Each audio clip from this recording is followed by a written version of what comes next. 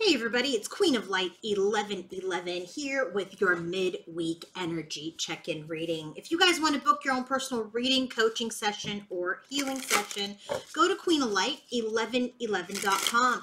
In this reading, we're going to be looking at both masculine and divine feminine's energies as related to each other. Okay, so let's go ahead and start with divine feminine's energies. We're going to be shuffling live here and haven't done that in a while. So I thought, you know what, let's go ahead and do that.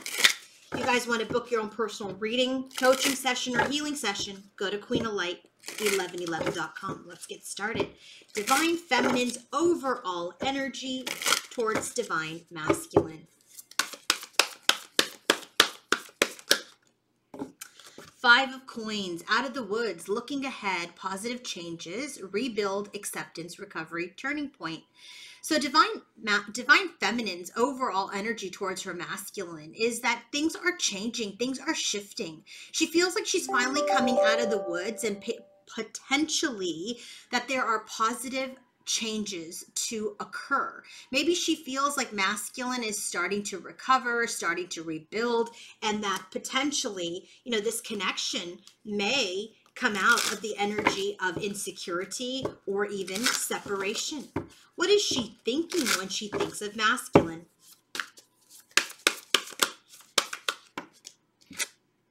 Knight of Wands, reckless show off, daredevil, daredevil, volatile, arrogant, hasty, holding a grudge, hyper, unpredictable, and jealous. So in her head space, she's still very much in the energy that, you know, yeah, maybe there's things and there's shifts and there's changes ahead, but at the present moment in her headspace, she's still thinking that, you know what? He's still in that player energy. He's still reckless. He's still showing off. Maybe he's still posting, you know, immature things on social media um, maybe still trying to get get attention. So it just feels like when she thinks about divine masculine she's like you know dude's still arrogant still arrogant. What's she feeling in her heart for masculine? Ace of swords. Reevaluate. Misinformation, clouded judgment, hostility, block communication. So in her heart, I feel like, you know, there's still no communication between the two.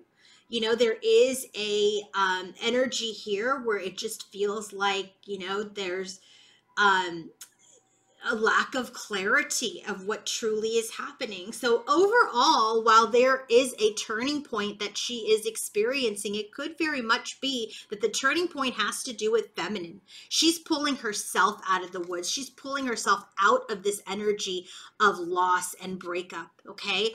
Because in her headspace, it just feels like she still feels he's arrogant. She still feels that you know, um, he's unpredictable. He's in and out.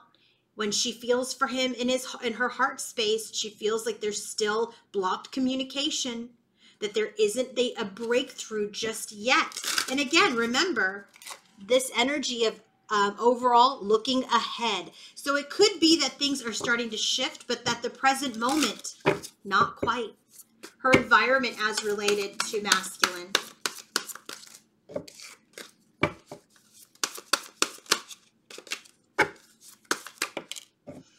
Queen of Cups. So emotional imbalance, fostering codependence, melancholy, irrational, gullible extremes, wallowing, imbalanced. What do we have here? Bottom of the deck is the Four of Cups.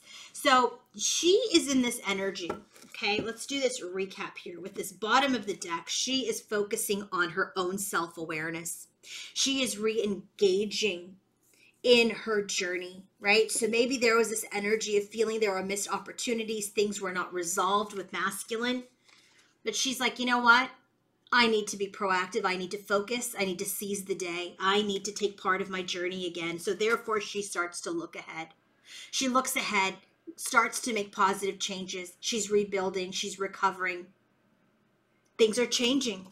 When she thinks about her masculine, she still feels that perhaps you know, he's still in the energy of being a player, still in the energy of holding a grudge, still in this energy of his arrogance. In her heart, there's a lack of clarity, there's blocked communication. You know, maybe she still feels that she needs to reevaluate this connection and in her environment yeah there's it just feels that there's an emotional imbalance. You know she's really looking and evaluating and is self-aware about where she is irrational where maybe she has been imbalanced where she may have been codependent. So it just feels like divine feminine's like you know what? I am starting to understand what is making me unhappy? Who makes me unhappy? Who contributes to or lends to the energy of codependence? She's starting to see what she's attached to, where she needs to adjust, where she needs to recover, where she needs to rebuild.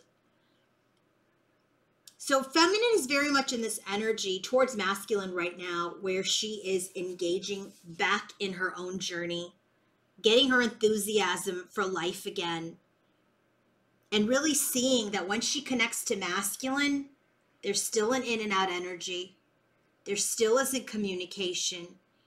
And frankly, there are some codependencies and imbalance and melancholy that connecting to masculine brings in. Now remember, if this person is truly your twin, that's a mirror. This masculine is displaying something to her, showing something to this feminine that she needs to heal. So that's what the twins do, right? That's what the counterpart does. They reflect back the energies, the behaviors that need to be addressed and healed.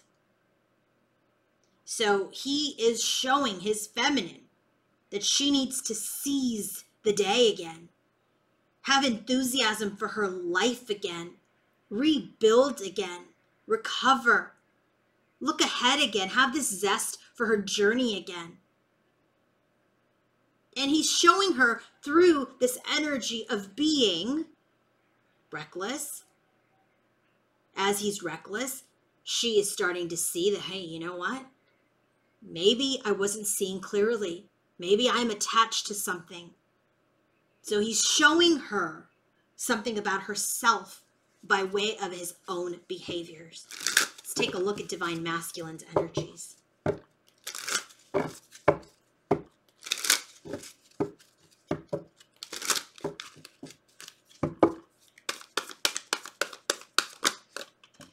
We have the messenger of earth,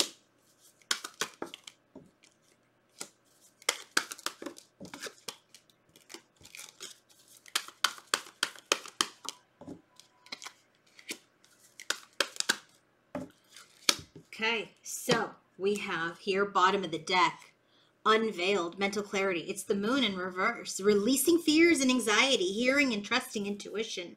So, divine masculine, you know, I feel like this full moon that is just passed has really assisted this divine masculine in gaining some clarity, reconnecting to his higher self, reconnecting to his intuition, and actually listening and trusting the voice within his overall energy towards this feminine messenger of earth it's this energy where he feels it's a missed opportunity. When he is in his overall energy towards his feminine he knows that because he didn't follow through right? Because he didn't follow through because he didn't have a strategy because he didn't do the work that he potentially missed an opportunity with his divine feminine. When he thinks of his feminine, he's in the magician's energy, resourceful creator. He's really thinking about what he wants to manifest when he thinks of his feminine. He's using his intellect, he's using his logic, he's using some mastery. He's starting to see that his immaturity created this missed opportunity. And so now when he thinks of his feminine, he knows that he want he needs to be in the energy of his willpower and take action in his heart space for feminine self love. He's reflecting. Again, tuning into his intuition, taking care of himself. He's filling his own cup.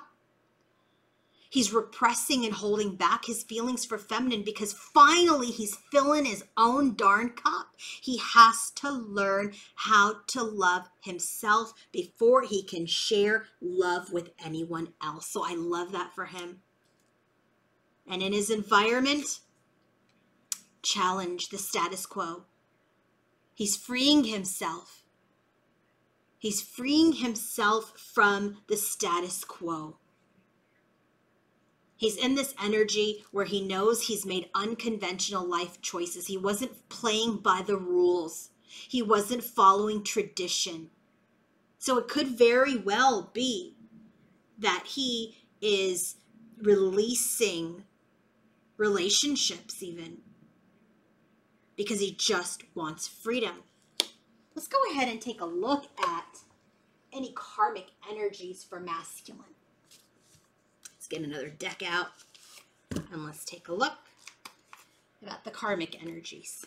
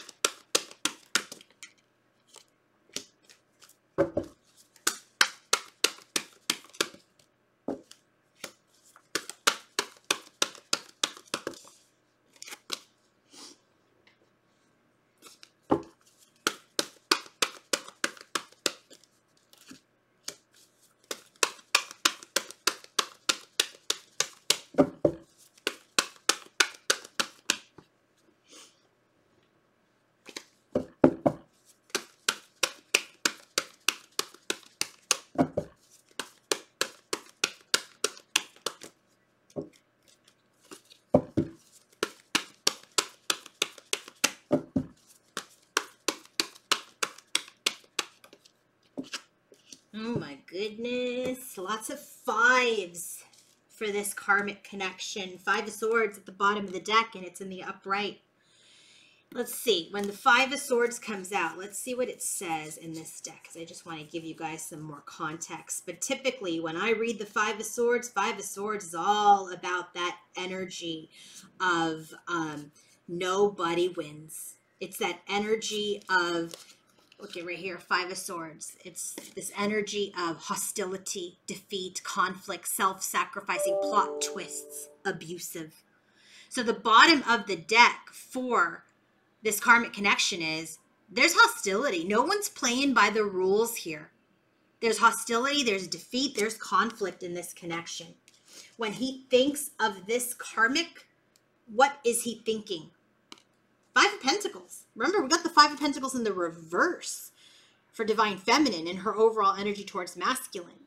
So where she's coming out of the woods, this connection is going into separation. His overall energy towards the karmic is rejection, turmoil, alienate, harsh conditions, financial ruin, loss, change, breakup.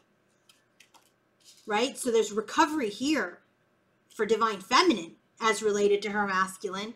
But as related to the karmic situation, masculine's overall energy towards the karmic, there's a potential breakup here. That's his overall energy. What's he thinking when he thinks of the karmic? The lover's card. Lover's card isn't just about, you know, divine connections. It's about choices. Right? When he's thinking of the karmic, he's thinking about love. He's thinking about duality. He's thinking about choices. He's thinking about harmony. He's thinking about this relationship. He's thinking about his choices in relationships. What's he feeling in his heart for this karmic? Look at this Five of Cups in reverse. He's no longer sitting in self pity. Woe is me energy. He's no longer sitting in that energy, the Five of Cups. So when the Five of Cups is in reverse, he's releasing that. He's releasing his victimization. He's releasing the energy of woe is me. Oh, I've missed my union. I've missed the two of cups. Right? It's about overcoming. It's about letting go. It's about moving on. And sure enough, What's his what's happening in his environment as related to the con uh, to this uh, karmic? He's moving on. He's overcoming hardship. He's not staying in that five of swords energy anymore. That's at six of swords. Right?